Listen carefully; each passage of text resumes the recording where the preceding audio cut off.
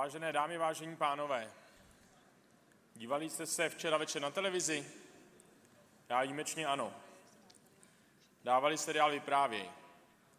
Název dílu byl Občanské fórum a pojednával o první demonstraci na letné. Já jsem na letné tenkrát nebyl, bylo mi 9 let, ale mnozí z vás se účastnili revoluce po celé naší zemi. Letos slavíme 23 let od pádu komunismu. Bohužel oslavíme toto výročí návratem komunistů k moci. A můžeme si za to sami. Různé kauzy, nejednotnost ODS a odklon od volebního programu.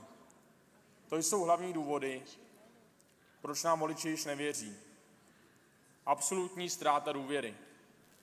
Proto zůstali naši voliči v posledních krajských a senátních volbách doma. A není to jen o ztrátě preferencí.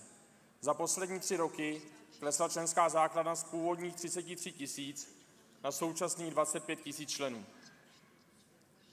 Reformy bolí. Souhlasím s názorem, že se vyplatí za reformy něco obětovat. A já bych snad i vyměnil podporu voličů za provedení reform. Ale opravdových reform. Já tu však žádné opravdové reformy nevidím. Nebo snad je reformou zvýšení DPH či důchodová reforma, do které se zapojí maximálně 15 obyvatel, protože se těm ostatním vyplatí zůstat v současném systému? A co tolik kritizované na standardy? Snad nechceme nazývat zdravotní reformou něco, co přinese do systému maximálně několik desítek milionů. O zbytku daňového balíčku snad nic říkat nemusím. Tím chceme trestat všechny naše tradiční voliče, od podnikatelů přes rodiny s dětmi až po aktivní seniory. A místo toho, abychom se brali sociální dávky těm, kteří je zneužívají, vymyslíme eskartu. O takovýchto reformách jsem v našem volebním programu opravdu nic nečetl. To jsou reformy ministra financí a ne ODS. Možná by se mělo ministerstvo financí spíše zaměřit na úniky daní při výrobě alkoholu a při obchodu s pohonnými hmotami. Asi by nás překvapilo, o kolik státní kasa každoročně přichází. Jsme reformní vláda. Jsme vláda rozpočtové odpovědnosti. To jsou hesla, kterým, kterým veřejnost už dávno nevěří.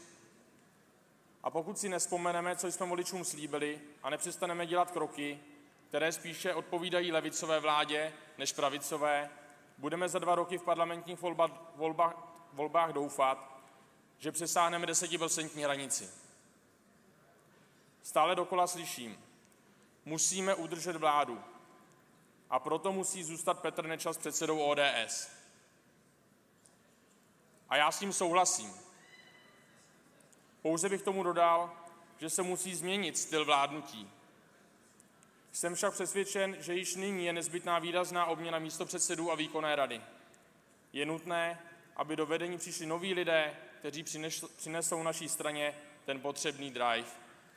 Děkuji vám za pozornost a že jste obětovali i večeři díky vystoupení mém a dalších hostů. Díky.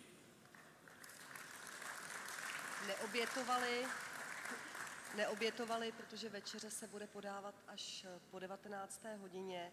Nyní bych